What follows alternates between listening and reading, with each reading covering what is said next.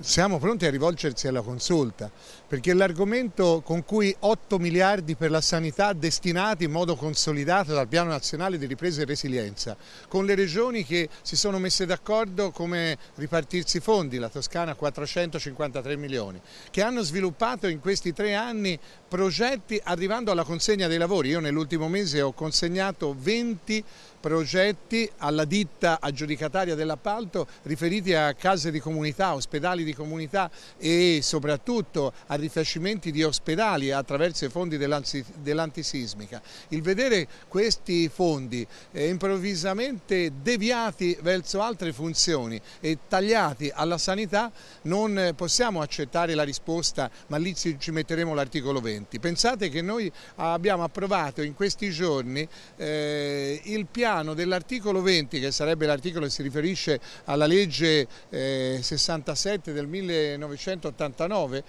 che erano stanziati nel 2019, cioè l'articolo 20 è una procedura che ci porta a realizzare ora ciò che è stato pianificato e approvato cinque anni fa. Quindi perché portare dal PNNR, dove invece ci sono scadenze precise e capacità di realizzazione, a quello che è il flusso ordinario di finanziamenti per l'edilizia sanitaria, ospedaliera ed extraospedaliera? Nella sostanza si tratta di un taglio, si tratta di mettere dalla corsia di sorpasso alla corsia d'emergenza emergenza quello che sono in Italia realizzazioni per un miliardo e mezzo di euro. Ecco perché la reazione eh, che è quella di dire noi andiamo alla Corte Costituzionale eh, non è solo una reazione politica ma l'hanno sottoscritta eh, i 20 governatori di ogni orientamento politico e io spero che sotto questo aspetto il governo dia una risposta costruttiva.